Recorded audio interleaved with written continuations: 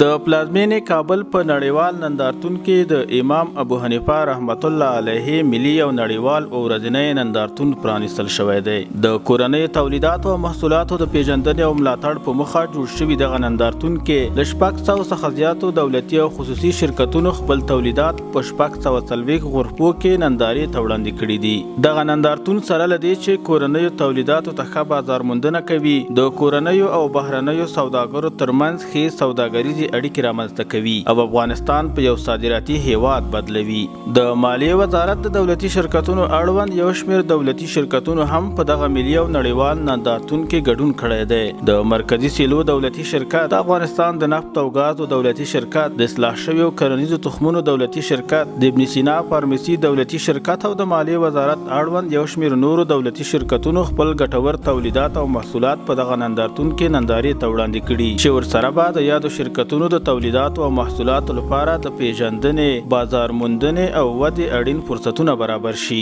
د مالیې وزیر الحاج ملا هدایت الله بدري له کورنیو تولیداتو او محصولاتو څخه د ملاتړ او هڅونې په موخه له یاد نندارتون څخه لیدنه وکړه او دغه نندارتون یې د کورنیو تولیداتو د ملاتړ او بازار موندنې په برخه کې یو ستر ګام وباله. همداراز د ګمرکونو او عوایدو معین الحاج ملا محمد ناصر اخوند، د عوایدو لوی رئیس معراج محمد معراج او یو شمېر رئیسانو هم له دغه نندارتون څخه لیدنه وکړه. د یادونې وړ ده چې د امام ابو حنیفه رحمة الله علیه ملي او نړیوال نندارتون د لیندۍ په لسمه نېټه پرانیستل شو.